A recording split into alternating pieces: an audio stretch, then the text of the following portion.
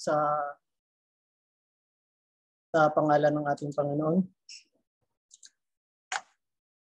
Ako po ay mag-share ng aking topic sa umagang ito.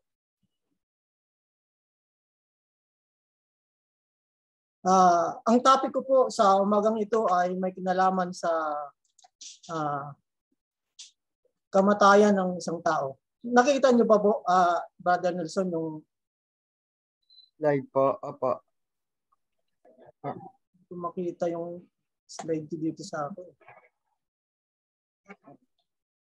Nawala, bro. Nawala, nawala, nawala, brother. Hindi, meron dito. Mer Nakashare to. Rest in peace. Ba to? Rest in peace, rest in paradise. Rest in peace, rest in paradise. Ito ba yan? Ha, oh. brother? Mer, share. Tingnan mo ako nakashare to. Yan po. Okay na ba? Ma- malaki po ang screen. Ma- malaki, brother. Malaki po. Uh, isang magandang umaga, mga kapatid, sa pangalan ng ating Panginoon. Uh, ang paksa pong ito ay aking napili uh, sapagkat uh, marami po tayong uh, uh, mababa, uh, makikita na uh, sa tuwing uh, uh, may mga namatay pong uh, mga kaibigan, mga kapamilya o di kaya makikita po natin ang katagang ito sa mga sementeryo o litso ng uh, o sementeryo. Ang salita pong ito ay nakakabit sa harapan ng uh, puntod ng mga namatay na tao. Uh, iniisip po po na ito ay isang mahalagang bagay sa sa ating sapagkat uh, uh, gusto kong malaman natin na kapag namatay ba ang tao ay magkakaroon ba talaga siya ng uh, katahimikan o uh, kapahingahan o di kaya ito kaya ay maging isang simula lamang ng isang kapahamakan o walang hanggang uh, pagdurusa. Ito po ang uh, gusto kong uh, masagot natin sa pag-aaral na ito. Uh, uh, kaya nga po napili ko ang uh, paksang ito ay uh, inisip kong ito ay isang uh, sobrang napakahalang bagay sa bawat isang Kristiyano. So lahat ng mga paghahanda dito sa sanglibutan ito ay ating ginagawa lalong-lalo na sa uh, material na ating mga gawain. So lahat tayo abang abalang abala sa mga bagay na pang material. Uh, naisip ko na ang pangmaterial ba na ito ay makapagbigay sa atin ng kaligtasan? O ito ay maka ito ay walang kabuluhan pagdating ng kamatayan ng isang tao? So ang paksang ito ay isang napakahalaga sa bawat sa atin na sana ating uh, pag-isipan sa mula sa araw na ito sapagkat tayo ay may pag-asa pa o tayo ay nabubuhay pa sa sanglibutan ito. Uh, kapag kapag dumating ang kamatayan sa isang tao, ito ay isang masasabi ko pong uh, huli o wala na pong uh, chance kung ang isang tao ay sumapit sa isang kamatayan. Alam niyo po ba sa sa aking uh, pagsasaliksik, uh, mga kapatid, uh, ang namamatay po kada araw sa Pilipinas po lamang ito, no? nasa 1,677 death per day. Yan po ang uh, dami kung uh, dami ng namatay dito lamang po yan sa Pilipinas. Nasa 1,700 deaths per day o 70 deaths per hour o 2 deaths per minute. Yan po ang uh, base sa datos dito sa ating bansa, sa ating Pilipinas. Uh, kaya uh, iniisip ko po talaga na walang ibang bagay dito sa sanglibutang ito na dapat paghandaan ng isang tao. Sapagkat ang pinakamahalagang bagay na paghandaan ng tao ay ang kanyang kamatayan. Sapagkat darating ang panahon na ang kamatayan ng ito ay isang magiging dahilan kung ikaw ba ay magiging ah yung sinasabi ko ang rest in peace o ikaw ba ay mapupunta sa isang para sa para paraiso o ito ay magiging simula lamang ng iyong uh, walang hanggang kapahamakan o suffering.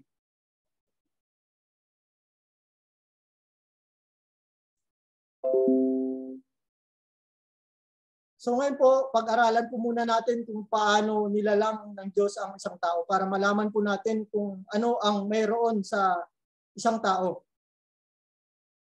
Sa paglalang ng tao, sinasabi sa aklat ng Genesis, chapter 2, verse 7. At nilalang ng Diyos ang tao sa alabok ng lupa at hiningahan ang kanyang mga butas ng ilong nang hininga ng buhay at ang tao ay naging kaluluwang may buhay. So, yan po ang kung paano nilalang ng Diyos ang tao. So, binigyan ng Diyos ang tao ng isang hiningang may buhay at isang kaluluwang may buhay. Yan po kung paano tayo nilalang. Ngayon po ay pag-aralan natin ang uh, komposisyon ng isang tao. Base doon po sa ating uh, nabasa kanina, ang tao po ay may uh, kaluluwa at espiritu. At ganoon din mayroon pong katawan. So, minsan, uh, kadalasan po, ang nakikita natin ay, ay itong ating katawan. Hindi po natin itong nakikita, itong dalawa, yung soul o at espiritu. Yan po ang uh, isang uh, pinakamahalagang bahagi ng tao, ang kanyang uh, espiritu at ang kanyang kaluluwa. So pag namatay po ang isang tao, ang mangyayari po sa katawan, ito po ay mabubulok at ang sabi dito sa sa ating binasa, ang, ang sa ating binasa ay ma, mauwi ito sa alabok ng lupa.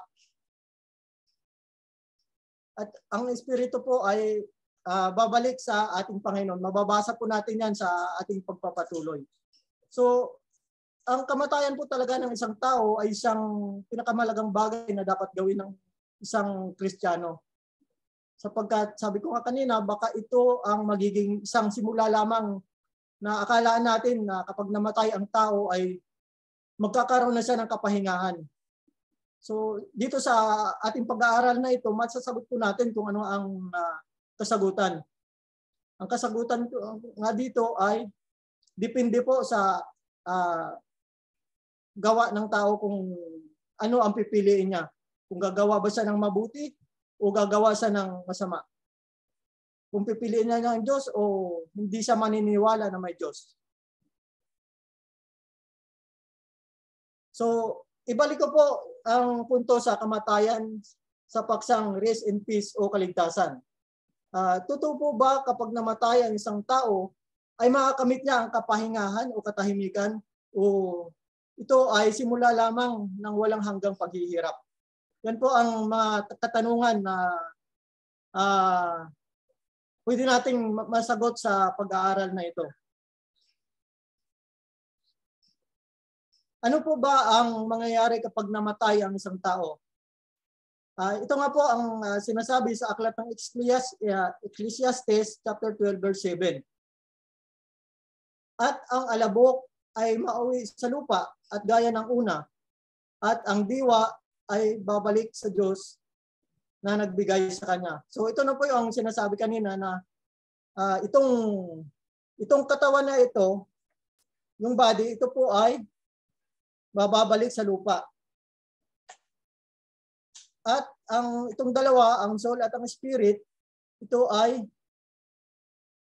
babalik sa Diyos na nagbigay sa kanya. So napakaliwanag po ang sinasabi ng akla, ang ng banal na aklat ng Ecclesiastes na dapat malaman ng tao na ang tao ay hindi lamang natatapos sa isang sa kamatayan, hindi ito ay mayroon pang uh, pupuntahan.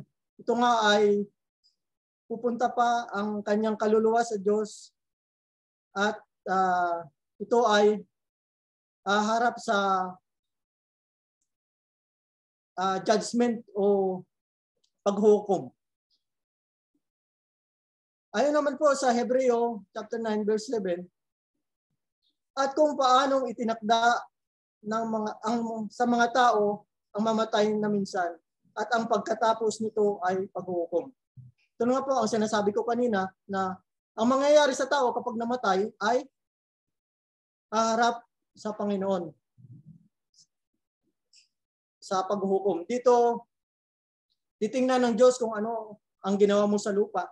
Kung ikaw ba ay gumawa ng mabuti, kung ikaw ba ay sumunod sa Diyos, o ikaw ba ay uh, nagsalangsang sa mga kanyang kautusan.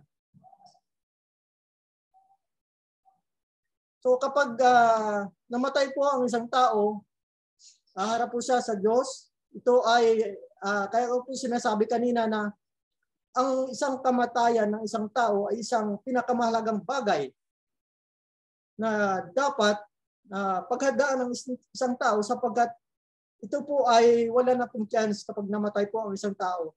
Wala na pong pag-asa, wala na pong uh, kapatawaran sapagkat uh, natapos na, namatay ka na. Yun na yung pinaka-end ng uh, yung uh, pamumuhay. Hindi ka na pwedeng magsisi pa uh, sana sa ngayon po ay mayroon pa tayong oras sa uh, sa atin. Sana wag po tayong uh, sayangin ang pagkakataong ito na binibigyan pa tayo ng Panginoon ng oras na tayo ay uh, magbago kung tayo ay kailangan may, may, may baguhin pa sa ating mga buhay uh, ihanda po natin ang ating mga, ang mga sarili sa paghukom na ito.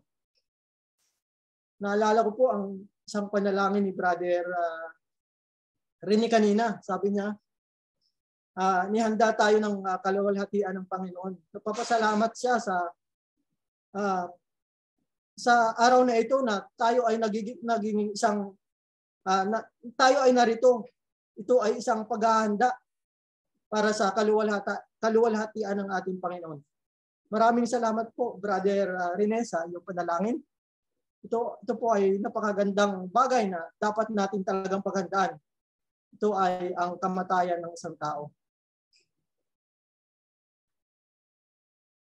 Sa ating pagpapatuloy po, ang uh, ang mga dapat gaw, uh, ang gagawin ng Diyos sa taong mga namatay, sabi sa Ecclesiastes chapter 12 verse 14, sapagkat dadalhin ng Diyos ang bawat gawa sa kahatulan, pati na ang bawat kubling bagay, maging ito'y mabuti o maging ito'y masama. So ito na nga po ang, sinasa ang sinasabi ko po kanina na tayo ay haharap sa ating Panginoon.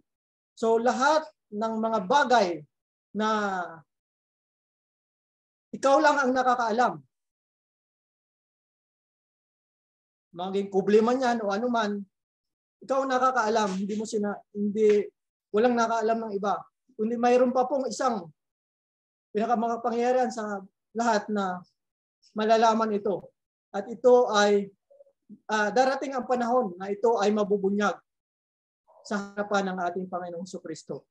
Kaya sabi ko pa sabi ko nga po, tayo sana ay uh, magbago na kung ano man po ang ating mga nakaraan. Huwag po nating uh, Huwag na po nating balikan ang ating mga masamang mga gawa. Tayo nagbago na hanggang may panahon pa po sa ating mga buhay. Huwag po nating sayangin ang ating oras at sana ay bigyan natin ang uh, pagpapahalaga ang ating mga gawain sa ating Panginoon sa Kristo. Sapagkat sabi ko nga, ito, ang gawain natin ito ay uh, hindi po mababaliwala ito po ang ang ang aanihin po natin dito ay isang kaligtasan. Kaligtasan na walang hanggan. Uh, isipin po ninyo ang kapalit ng uh, reward na ating tatamuhin pag tayo ay uh, maging tapat sa Panginoon, tayo sumunod sa Panginoon. Ang buhay natin dito sa isang libutan, napakaikli po lamang. Siguro, ang average po, ang tao po ay namamatay sa uh, mata, ma, ngayon average mga 60 years old. Karamihan po uh, namamatay na po yung tao. So comparing po sa ma, masatisfy lamang yung pangsanglibutan nating mga katawan, uh, mag-enjoy ka ng ang ibig sabihin natin mag-enjoy ka ng 60 years. Pero ang kaluluwa mo naman po ay mapapahamak panghabang buhay. So, nakita niyo mga kapatid, uh, kino-compare ko lang po kung tayo ay gagawa ng masama dito sa sanglibutan o isa-satisfy natin yung ating mga masamang pita ng laman para ma-satisfy po ang ating mga masamang nasa ng ating mga katawan, eh mag-enjoy ka man ng ganun ka karaming taon. Ang ipapamalagi po ng tao dito sa sanglibutan eh bihirang-bihira na po nakaka, nakakaabot ng 100 years. Yun po, uh, ganun po lamang ang tinatagal ng tao. Kung tayo man po ay uh, mag mag-focus po tayo sa mga sa mga magagandang mga gawain, sa magandang mga gawa, iwasan po natin yung mga pita ng laman, mga masamang gawain na nagpapasatisfy sa atin. Ang kapalit po nito ay walang hanggang uh, kasayahan o eternal joy. Yun po ang uh, gusto ko lang mai-bahagi sa inyo sa oras na ito na dapat talaga ang pag-isipan ng tao sa sanglibutang ito ay ang kanyang kamatayan. Ang paggawa ng mabuti para sa kanyang ikaliligtas. Uh, alam niyo po ba ang uh, istorya ng isang mayaman at uh, ni at ni Lazaro sa Lucas chapter 16 verse 19 to 31. Sa madaling salita po, itong dalawang tao na ito, ang mayaman at ang itong mahirap na si Lazaro, sila po ay parehas na namatay. Itong ang si Lazaro, kung sa pinaiklik na po, si, itong si Lazaro ay uh, napunta sa torments o paghihirap. Itong si Lazaro naman po ay napunta sa para sa para para iso na kasama ni uh, uh, amang Abraham. Uh, basahin po natin sa aklat ng Lucas chapter 16 to 19 to 31. Ganito po ang ating mababasa para ito po ang ang pangyayari pong ito ay isang example na kapag namatay ang isang tao, saan po ba sa mapupunta? Ang ang nire-represent po ng isang mayaman ito ay isang masamang tao, hindi sa mabuti at napunta nga sa sa suffering. Ito ang nire-represent naman po ni Lazaro ay isang taong matuwid. Kaya ang napunta niya po ay isang paraiso.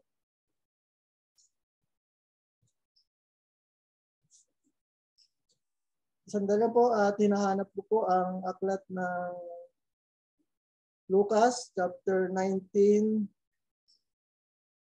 verse 19 to 31. Ganito po ang ating mababasa. Makikita po natin dito kung ano po ang uh, sitwasyon ng dalawang uh, may, ang dalawang taong ito itong mayaman at ang itong mahirap para mayroon po tayong uh, feeling kung ano ang maramdaman kapag ikaw ay namatay. Ito po ay isang uh, magandang uh, istorya na kung saan tayo ay makapag-isip kung ano ba talaga ang dapat gawin natin sa sanglibutang ito. Ganito po ang sinasabi sa Lucas chapter 16 verse 19.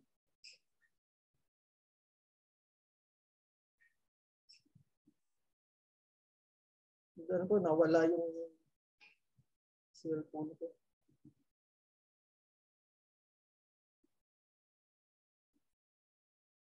Ganito po ang sinasabi sa chapter 19.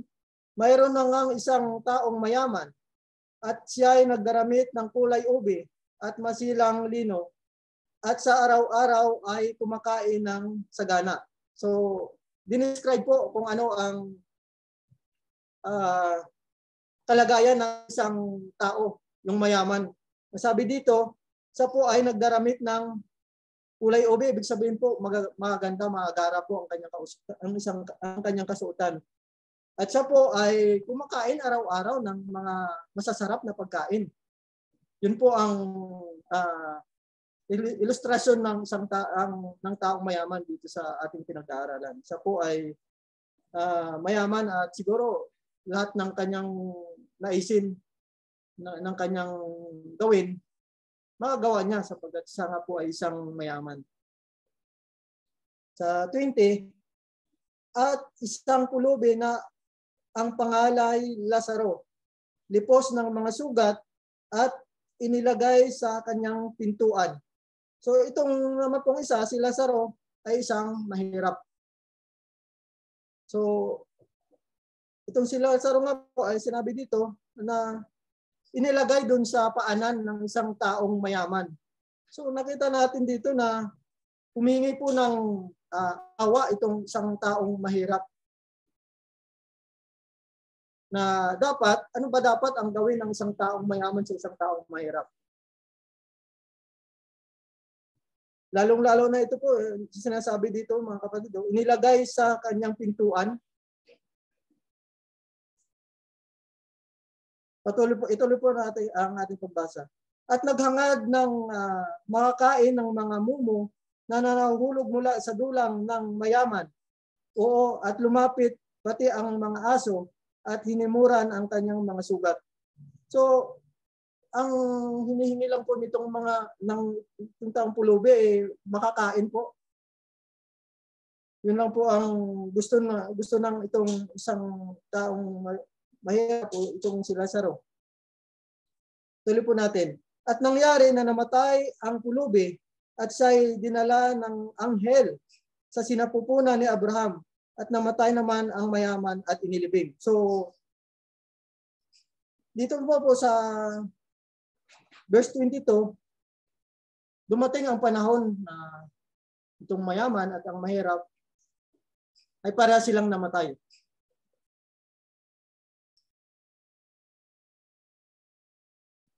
At dito sinasabi na itong mahi, itong, mahi, itong mahirap ay dinala ng anghel sa sinapupunan ni Abraham. So, ganun pala po kapag namatay ang isang uh, matuwid o isang tao ng Diyos.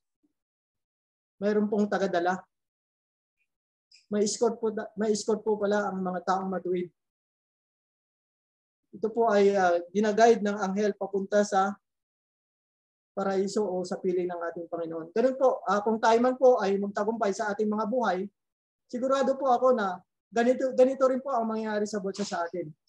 Tayo rin po ay uh, may, may iba po kasing paniniwala na kapag namatay ang ibang ta- ang tao, lalong-lalo na kung ito ay uh, biglaan yung kapag kamatay, sabi nila, pagala-gala pa, hindi pa malaman kung saan. Ito po ang napakaliwanag po ang sinasabi. Kapag may pag, kapag matuwid ka o tinanggap mo ang ating Panginoon, isa lang po ang ating pupuntahan. Ito ay ang paraiso o ang kapahingahan o ang langit. Tayo nga po ang sinasabi dito na tayo ay alalayan ng anghel para sa makarating sa piling ng ating Panginoon. Tuloy ko po ang pagbasa. At nangyari na matay ang pulubi at siya ay dinala sa mga, mga anghel sa sinapupunan ni Abraham at namatay naman ang mayaman at inilibing. So hindi po uh, binanggit kung saan napunta ang mayaman. Ano po? So sa ating pagpapatuloy po at inilibing at sa Hades na nasa mga pagdurusa ay itiningin niya ang kanyang mga mata. Ito po yung kwan, yung mayaman. So pagmulat ng kanyang mga mata, nandoon na siya sa hadis ng pagdurusa. Yung sabihin, uh, yun po ang kahinat na ng isang taong namatay. So, uh, hindi po lahat ng namatay ay makakatanggap ng kapahingahan o kaligtasan. Yun nga po, kaya uh, pinili ko po ang paksang ito, sabi ko nga kanina, na malalaman natin kung saan tayo pupunta. So saan pupunta kapag ang tao ay namamatay? So kapag ikaw po ay nasa Diyos, ikaw po ay gumawa ng mabuti at nagtagumpay ka sa pananampalataya, naging uh, uh, namuhay ka ng isang uh, faithful sa ating Panginoong Kristo, sigurado po pupunta po tayo sa paraiso o sa inihanda ng ating Panginoon na langit. Ito po, yung langit po ang uh, final destination ng isang taong matuwid. Ang destination naman po ng isang taong makasalanan o unbelievers, ito po ay mapupunta sa imperno o uh, hell kung sa English po. Ituloy po natin ang verse uh, 23 uh, 24.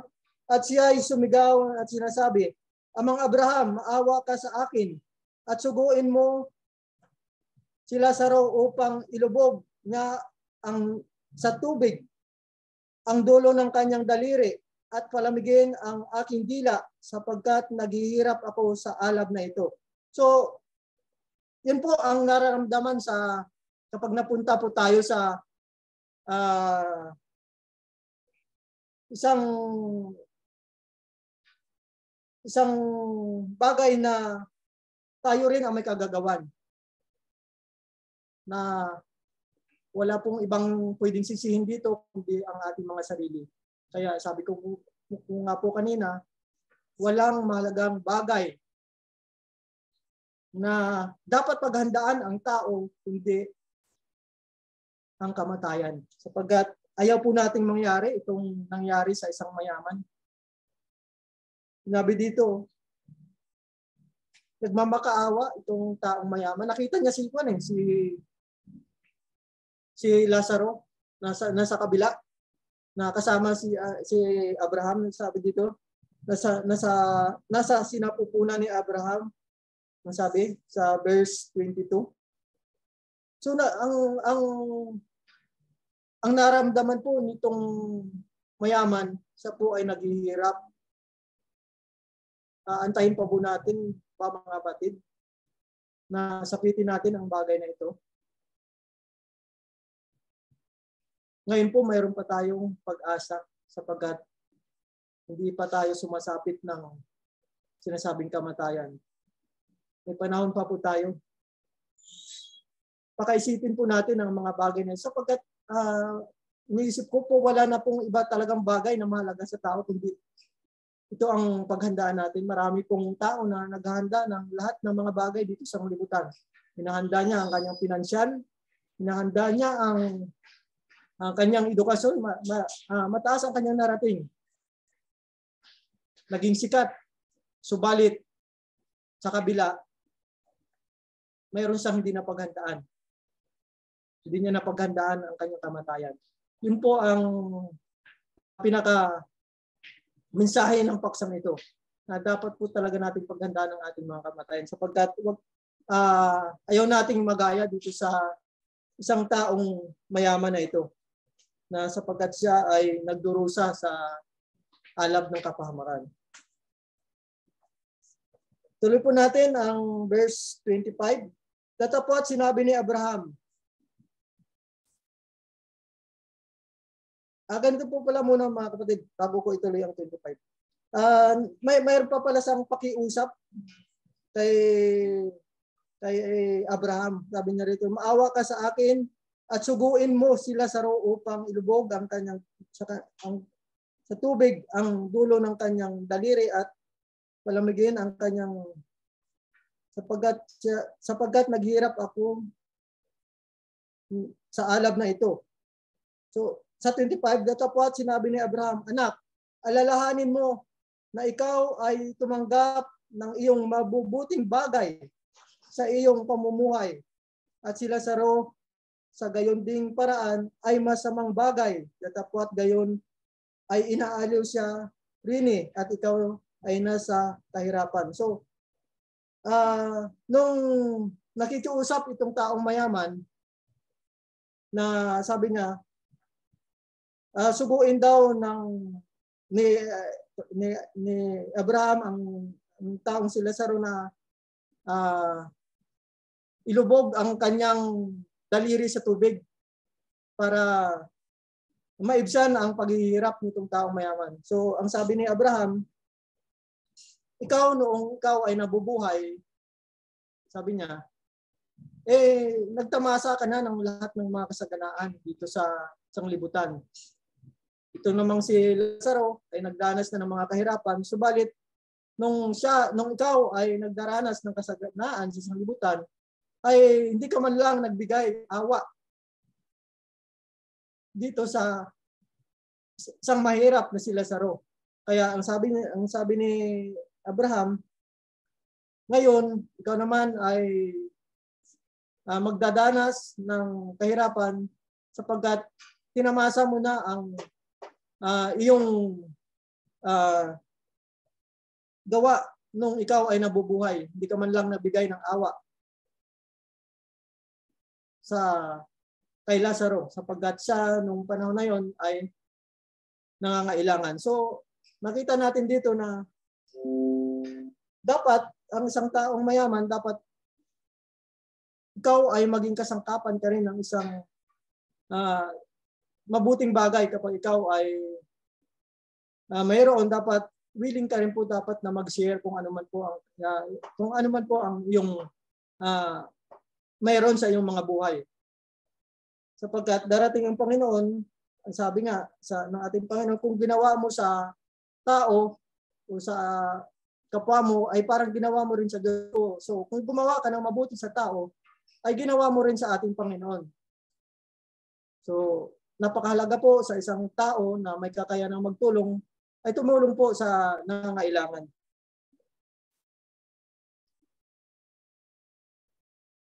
Sa, sa 26 po, at bukod sa lahat ng ito ay may isang malaking bangin na nakalagay sa pagitan namin at ninyo upang ang mga mag-ibig tumawid buhat dini hanggang sa inyo ay hindi maaari gayon din walang makakatawid mula diyan hanggang sa amin. So, hindi po makakatawid ang isang taong uh, makasalanan sa isang sa kabila doon sa paraiso ng kalalagyan. So uh, wala pong makakatawid po doon. Yun po ang sabi ng banal na kasulatan. 27. At sinabi niya, pinamani ko nga sa inyo, Ama, na suguin mo siya sa bahay ng aking ama. So may request pa po itong taong mayaman. Sabi po, uh, kung pwede daw suguin itong si si Lazaro na pumunta sa tahanan ng mayaman. Siguro po mayroon pang naiwan itong ma- mahal sa buhay itong uh, taong mayaman na ito. Gusto niyang uh, sabihin na uh, ang tao, uh, itong mayaman na ito, gusto niyang ipaalam sa kanya, siguro mga kapatid o ama o kung ano man po, na ipaalam kung ano man po ang kalagayan niya dito sa uh, hadis o pagdurusa na kanyang tinatamasa ngayon mga kapatid. So, ang sabi dito, at sinabi niya, ipimani ko nga sa iyong ama na suguin mo siya sa bahay ng aking ama. At pong sagot, sapagkat ako'y may limang kapatid na lalaki upang sa kanila patutuhanan niya, baka pati sila ay mga parito sa dakong ito ng pagdurusa. So, yun na po, ang gusto ng mayaman, may request na kung pwede po ay papupuntahan ang kanyang mga kapatid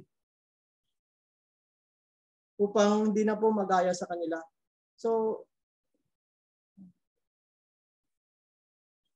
mahalagang mahalagang dapat po talagang nating malaman na para hindi po tayo darating sa pagkakataong ito na dapat po talaga tayo maganda.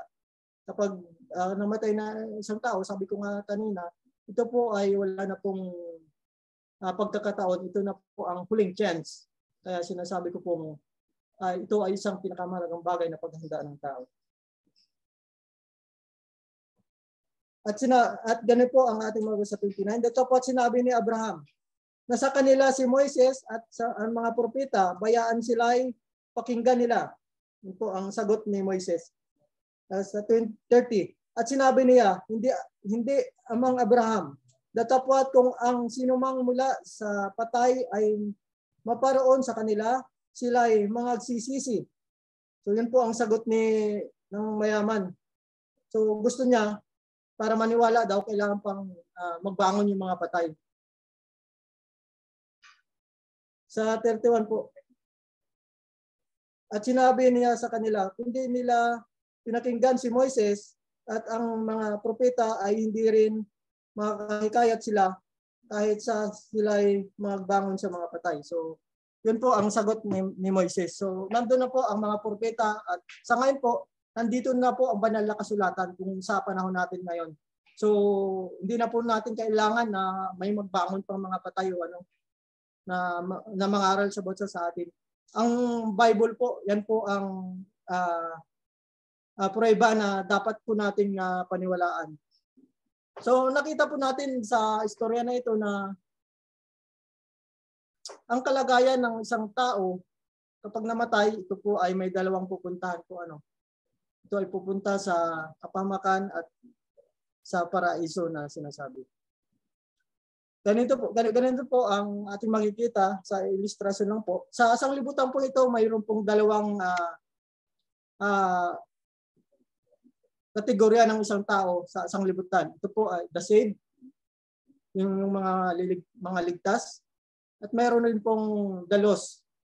So pagkamatay po, ang taong ligtas, ito po ay mapupunta sa narrow gate o yung yun, yun po yung pinuntahan ni ni Lazaro. Yung loss po, ito po ay nirepresenta ni ng taong mayaman. Sa po ay napupunta sa torments o pagdurusa.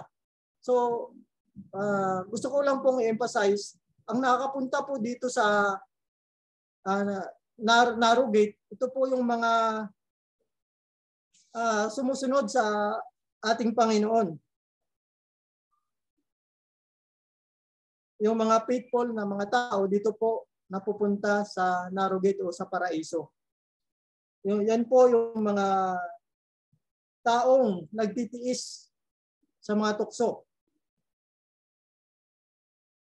Diyan po napupunta. Dito naman po sa kabila, yung wide gate, diyan po ang mga taong mga non-believers. Yung mga taong masasama.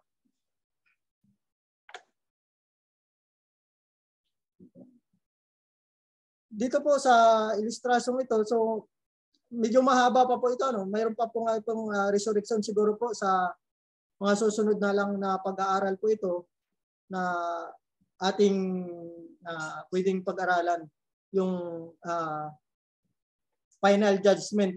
Uh, darating po kasi ang panahon na tayo ay namatay at mayroon pong pagdating ng ating Panginoon, mayroon pa pong taong mga mararatnan po na tayo, may, may mararatnan pa pong mga nabubuhay. Ang sabi nga po dito sa sulat ng ating apostol na si Pablo, sabi na rito,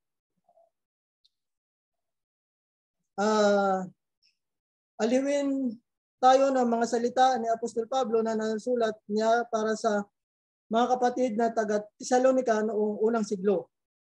Ngunit hindi namin ibig na kayo'y di makaalam mga kapatid ng tungkol sa mga nangatutulog upang tayo'y huwag mga lumbay na gaya ng iba na walang pag-asa. Ito pala ay binabasa ko sa unang Thessalonica chapter verse uh, chapter 4 verse 13 to 17. Sapagkat kayo ay nagsisimpalataya na siya Si Jesus ay namatay at nabuhay na maguli. At gayon din naman, ang nangatutulog kay Jesus ay dadalhin ng Diyos na kasama niya sapagkat ito'y sinabi namin na ito sa ating Panginoon na tayo'y mga bubuhay na mga tira hanggang sa pagparito ng ating Panginoon at hindi tayo nanganguna na anumang paraan ay sana tutulog sapagkat ang Panginoon ding ang bababang mula sa langit na may singaw, may tinig ng angkar, angkarhel, at may pakakat ng Diyos at ang nangamatay kay Kristo ay unang mabubuhay na maguli. Kung magkagayon tayong nangabubuhay na nangatitira ay aagawin kasama niya sa alapaap upang salubungin ang Panginoon sa hangin.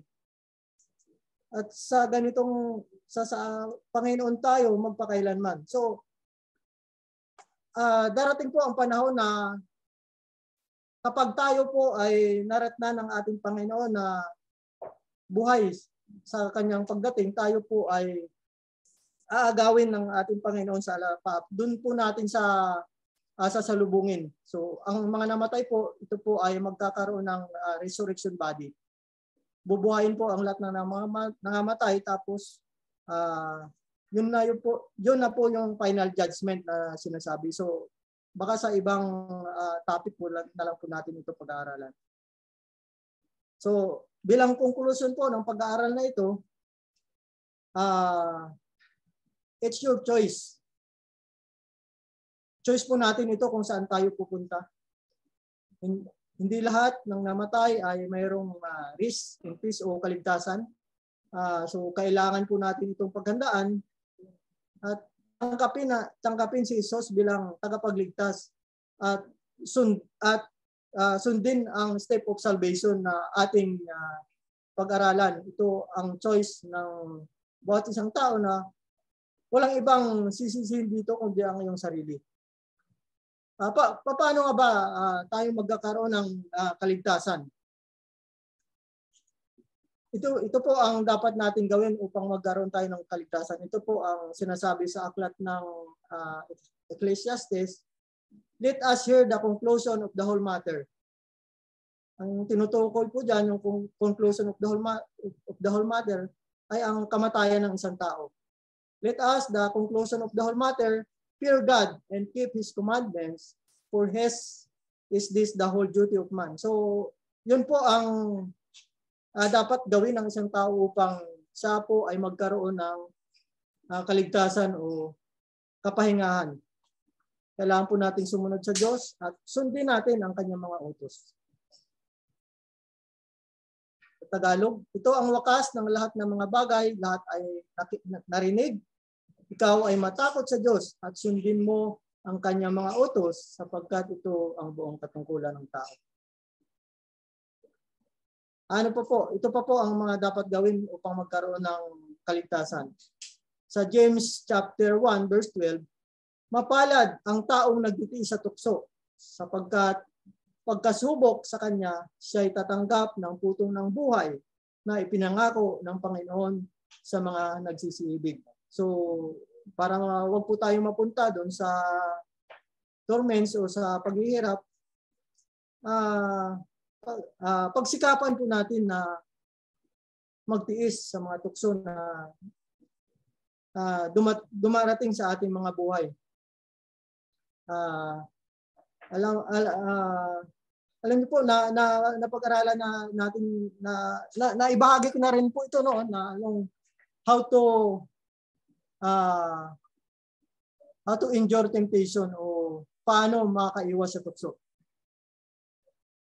So ang ang kwan lang po, ang utos po na ito ay napakaganda po ano, napakapalad ng taong nagtitiis, sabi ng uh, aklat na, na ito sapagkat pagkasubok sa kanya tatanggap ng putong ng buhay na ipinangako ng ating Panginoon na nagsisibig sa kanya. So ito lang po yung utos po ito eh. Itong utos na ito ay napakaganda, may isang pangako. Ang pangako dito ay magkaroon ng buhay na walang hanggan. Ito, ito pa po ang uh, mga dapat gawin upang magkaroon ng kaligtasan. Ito po ang step of salvation. Uh, hindi ko na po babasahin. Makaso, uh, medyo mahaba, mahaba na po at gusto pong maging maikli lamang para hindi po maging magulo. Ang una po sa step of salvation, kailangan po tayong makarinig, maniwala, uh, magsisi, at uh, i-confess po natin ang ating mga kasalanan at tayo ay mabautismuhan sa ating Panginoong Kristo. Pang-anim, endured temptation. Ito nga po yung binasa natin kanina. Para magkaroon ka ng buhay na ulanggan, kailangan pong uh, magtiis ka sa tukso.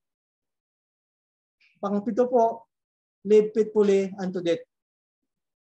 Yan po ang uh, pitong paraan para magkaroon tayo ng kaligtasan sa ating mga buhay. Uh, at bilang pangwakas po, muli, uh, sinasabi ko sa sinasabi ko po bago po ako magtapos, wala pong uh, pinakamahalagang bagay na dapat gawin ng tao sa sanglibutang ito kundi paghandaan ang kanyang kamatayan.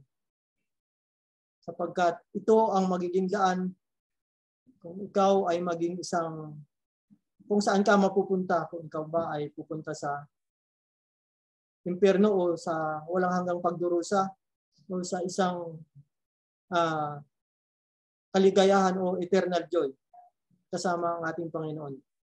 Napakaganda po sa langit. Ito po ay ibinahagi na rin ni Brother Rene kung gaano kaluwalhati ang ating uh, tatamuhin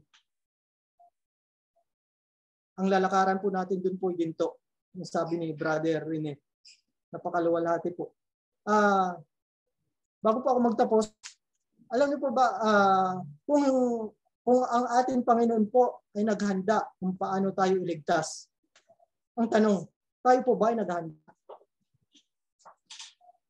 Para dun sa inihanda ng ating Panginoon. To be fair po ano, dapat naman siguro tayo maging handa. Sapagkat ang Panginoon naghanda eh para sa atin. Ibinigay niya ang kanyang bugtong na anak na nagtamasa ng kaluwalhatian sa langit. Sinugo niya sa lupa na upang maghirap para tubusin ang ating mga kasalanan at magkaroon tayo ng buhay na walang hanggan. Maraming pong salamat at sana sa pag-aaral na ito ay uh, na-encourage ko kayo na dapat natin paghandaan ang ating kamatayan sapagkat wala na nga itong uh, chance o ito na po ang huling destination para tayo ay maging ligtas. Maraming pong salamat.